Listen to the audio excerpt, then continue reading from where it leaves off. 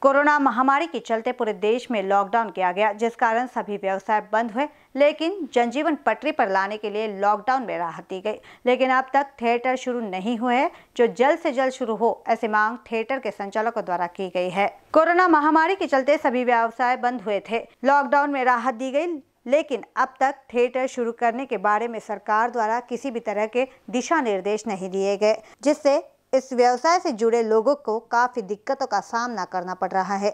इसलिए जल्द से जल्द थिएटर शुरू करने की मांग थिएटर संचालक द्वारा की गई है। नहीं वो तो वो तो कराया जाएँगे ना सैनिटाइज कराया जाएगा उसके बाद में चेयर के हैंडल के ऊपर भी कराया जाएगा। वो तो करना ही पड़ेगा ना उसके बिगड़ थोड़ी पब्लिक को। और उसके बाद में बुकिंग के अंदर में यानी पूरा सिक्योरिटी के तौर पर किया जाएगा। मैं ब्यूटी सिनेप्लेक्स का मैनेजर हरीश हिरण और बोल रहा हूँ। अभी देखो मार्च चौदह तारीख से बंद है हमारा थिएटर और आज तक के बंद है थिएटर। और आगे अभी चालू होना चाहिए, ये हमारा कहना है आपसे। और अभी तक चालू नहीं हुआ है। स्टेट गवर्नमेंट ने नहीं दिया है, सेंट्रल गवर्नमेंट ने बोला है कि थिएटर चालू होना चाहिए।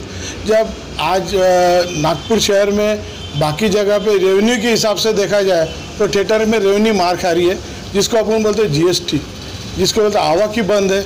आज वर्कर के हमारे भी बंद है। मालक आज कहाँ तक के पैसा देंगे? नीलराव Motiram सुंडके Kamal Cineplex Beauty Cineplex Sudama theatre general manager बता रहा हूँ कि हमारे यहाँ चौदह मार्च से आज सिनेमा सिनेमा गृह सभी नागपुर ज़िले के सभी सिनेमा गृह बंद है। और सभी सिनेमा गृह की तरफ़ से मेरे, मैं ये चाहता हूँ कि सेंट्रल गवर्नमेंट को जो राज्य सरकार ने जो मांग की है फिफ्टी परसेंट की, वो जल्दी से लागू करके जहाँ तक के सारे सिनेमा वाले हमारे करने की कोशिश करेंगे। और देना चाहिए। अगर 50 परसेंट भी अगर दे दिया तो सभी सिनेमा में एक दो एक आधा सिनेमा छोड़ के सभी सिनेमा में बहुत सारी जगह है। सैनिटाइज उनको पिक्चर छूटने के बाद में हर चेयर पर या गेट के ऊपर जैसी एंट्री होती है, वहाँ सैनिटाइज करने की कोशिश करेंगे। और कोशिश करने के बाद में उनका थर्मामीटर से टेम्परेचर गिना जाएगा। उसके बाद में एंट्री होगी। उसके पहले वो एंट्री दे ही नहीं सकेंगे। इतना तो ख्याल रखेंगे। रहीम खान मैनेजर सोशल के लिए पब्लिक के लिए, हम लोग ने सुविधा सभी चीज़ की रखी है वहाँ पे। हर चीज़ों की पार्किंग का इंतज़ाम है वहाँ पे। टाकिस के अंदर पब्लिक अच्छे से बैठ सकती है दूर से और सब चीज़ें का दवाइयों का इंतज़ाम अच्छा किया गया हुआ है। पार्किंग के लिए बहुत काफ़ी जगह है। कम से कम नहीं तो भी हज़ार से दो हज़ार से लगभग जगह होंगी कम से कम।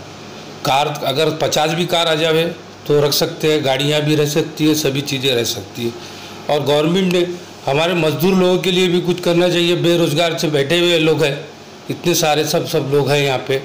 और तो ताला लगा है टाकिस को। आज चार से छः महीने हो चुके हैं। और सब परेशान है, पब्लिक का काम करने वाले कर्मचारी लोग परेशान हैं।